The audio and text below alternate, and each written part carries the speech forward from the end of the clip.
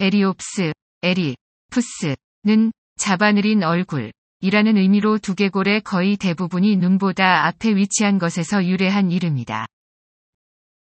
에리옵스는 멸종한 반수생 분추류 양서류의 한 속으로 주로 텍사스 아처 카운티의 하부 페름기 아드미랄 층에서 발견되며 뉴멕시코와 미국 동부에서도 찾아볼 수 있다. 에리옵스는 웨스트버지니아의 브랙스톤 카운티의 콘모 층군의 더 오래된 펜실바니아기 지층에서도 발견된다. 에리옵스는 평균적으로 1.5에서 2.0m의 몸 길이를 가지고 있어서 생존 당시 가장 큰 육상 동물 중 하나였다. 약 90kg 정도의 몸무게를 가지고 있었다. 에리옵스를 잡아먹는 동물은 거의 없었을 것으로 보이는데 몸집이 더 크고 당시의 최상위 포식자였던 디메트로돈은 에리옵스를 잡아먹었을 수 있다. 에리옵스의 완전한 골격 화석이 하부 페름기 지층에서 여럿 발견되었지만 두개골과 이빨이 가장 흔한 에리옵스의 화석이다. 에리옵스는 그 조상들보다 육상 생활에 더 잘 적응했다. 튼튼한 다리와 강력한 척추뼈가 물 밖에서도 몸을 지탱해 주었다. 자연사 박물관의 에리옵스 화석 에리옵스의 두개골은 상대적으로 커서 넓고 납작하며 길이가 60cm까지 자란다. 두개골은 도롱뇽과 유사하게 생겼다. 거대한 입에는 날카로운 이빨과 강력한 턱을 갖추고 있었다. 이빨은 상아질이 복잡하게 접힌 형태를 하고 있어서 미치류로 분류된다. 넓고 크게 벌릴 수 있는 턱과 입천장에 위치한 엄니 같은 이빨을 가지고 있어서 입을 크게 벌리고 관성을 이용해 먹이를 삼켰을 가능성이 있다. 양서류가 먹이를 잡았을 때 씹을 수 있는 구조를 가지고 있지 않으면 머리를 위로 제껴서 먹이를 입 안쪽으로 집어넣는 것을 말한다. 이런 섭식 방법은 오늘날의 악어에서 볼 수 있다. 에리옵스는 아주 활동적이지는 않았을 것이라고 해석되며 따라서 포식자로서의 생활은 가능하긴 했지만 일반적인 것은 아니었을 것으로 보인다. 물속에서 혹은 호수나 늪지의 가장자리에 올라와 움직이기 힘들게 된 어류를 잡아먹었을 것이다.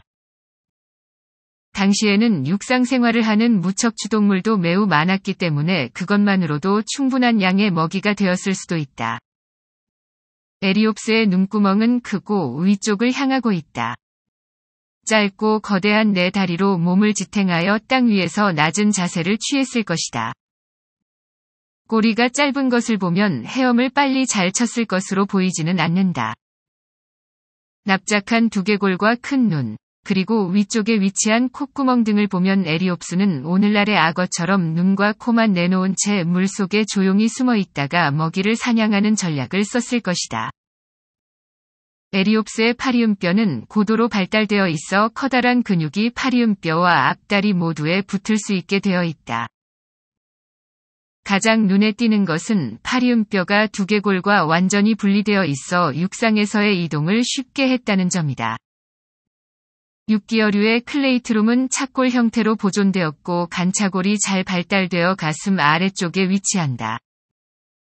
원시적인 형태에서는 두 개의 차골과 간차골이 넓은 가슴판을 형성하도록 몸 아래쪽에서 자랄 수도 있었겠지만 에리옵스는 이런 형태는 아니었다. 파리음뼈의 위쪽에는 납작한 견갑골이 있고 관절화는 아래쪽에 위치하고 있어 상완골과 이어진다. 등 쪽에는 크고 납작한 판 모양의 부리뼈가 중심선 쪽으로 위치한다. 런던의 자연사박물관에 전시된 골격 다리 이음뼈 역시 어류에서 볼 수 있는 간단한 판 모양보다는 훨씬 크고 더 많은 근육을 수용한다. 등 쪽으로 높이 솟아있고 한 개 이상의 특화된 청골을 통해 척추와 이어진다. 뒷다리는 체중을 지탱할 뿐 아니라 추진력을 제공한다는 점에서 더 특화되어 있다. 등 쪽으로 솟아있는 다리 이음뼈는 장골이며 배 쪽에 있는 부분은 앞쪽의 치골과 뒤쪽의 좌골이다. 이 세 뼈는 삼각형의 한가운데서 만나서 광골구를 이루며 이곳에서 넙다리뼈와 연결된다. 에리옵스의 장골과 천골을 강력하게 연결해주는 것은 인대로, 구조적으로는 가장 원시적인 엠볼로메리류의 양서류와 초기 파충류의 중간 형태이나 개통 발생학적으로 보았을 때는 중간 형태라고 할 수 없다. 이후에 척추동물에서 많이 발견되는 형태는 연골, 장골과 합쳐진 여러 개의 천골, 그리고 인대가 모두 활용되는 것이다. 에리옵스의 올챙이일지도 모르는 펠로사우루스 라티캡스 현생 양서류와 마찬가지로 에리옵스는 공기를 허파로 들이마셔 산소를 흡수하고 이산화탄소를 배출하는 것으로 호흡을 했다. 하지만 현생 양서류와 달리 에리옵스는 몸집이 커서 표면적 대 부피 비율이 작기 때문에 아마 피부를 통해서는 효율적으로 호흡하지 못했을 것이다. 현생 양서류와 달리 에리옵스의 갈비뼈는 잘 발달되어 있으나 움직이지 못하기 때문에 흉곽을 확장시켜 호흡을 돕지는 못했다. 따라서 에리옵스는 설골을 이용해 입의 바닥을 들어 올리고 밑으로 내리는 것으로 허파에 공기를 주입하는 볼 pumping을 통해 호흡을 했을 것이다.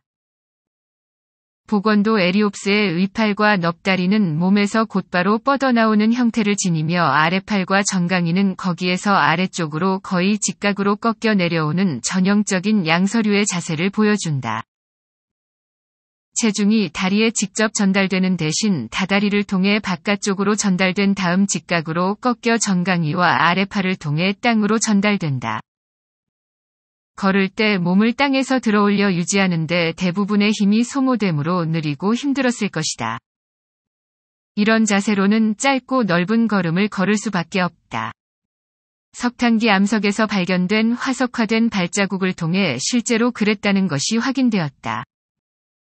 에리옵스의 다리에 인대가 부착되어 있었다는 것은 현생 육상 동물이 이동을 위해 다리를 사용할 때 볼 수 있는 뼈 및 연골 이용의 전조를 볼 수 있다는 점에서 중요하다. 에리옵스의 원시적인 종은 에리옵스 메가케팔루스로 명명되었다. 시청해주셔서 감사합니다.